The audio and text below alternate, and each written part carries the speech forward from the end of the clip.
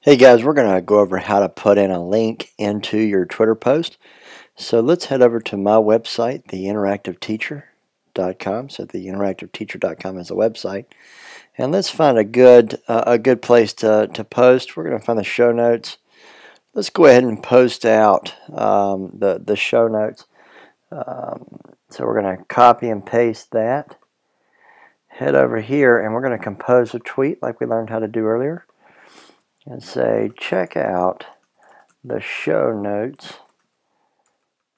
Sorry show notes. The interactive teacher blog and well I guess it's podcast and blog.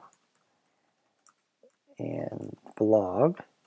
Now we're gonna we're gonna go ahead and paste it in there. So that's how we have it. There is um, that. When we hit enter um, and we're going to hit tweets. And there it is. So you see how it shows up. Check out the show notes for Interactive Teacher blog and podcast. We're going to hit that click. It takes us right to that page. There you are. Show notes at the Interactive Teacher. Thank you so much.